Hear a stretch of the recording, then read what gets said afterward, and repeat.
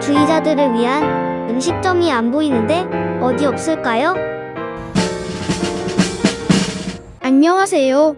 오늘은 부평역 광장에 있는 비건 인도 음식점을 소개해 드리겠습니다. 현지인이 직접 하는 비안이라는 식당입니다. 메뉴를 보시면 최신 메뉴가 따로 있습니다. 그리고 계란이나 치즈를 원하지 않으면 비건 음식으로 주문하시면 됩니다. 저희가 주문한 메뉴는 사무사와 베지 차 오미엔 그리고 달마카니 카레 마지막 일반 난을 주문했습니다.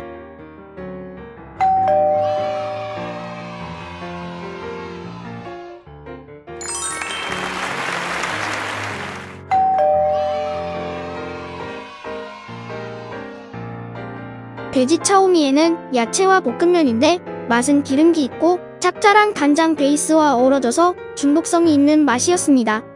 계란을 원하시지 않으시는 분은 따로 빼달라고 이야기하세요.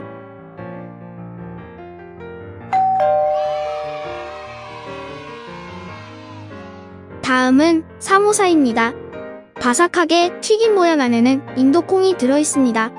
속이 마치 고구마 같지만 겉바 속촉으로 그냥 먹으면 심심하고 옆에 달콤매콤 소스를 찍어서 드시면 행복한 맛을 느끼실 수 있습니다.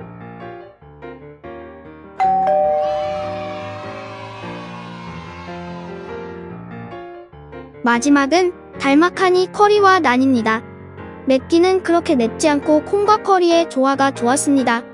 난과 함께 먹을 때 질리지도 않고 어른들이 좋아할 만한 음식 같습니다. 전체적으로 가격도 저렴하고 음식 맛도 좋은 인도 음식점이었습니다.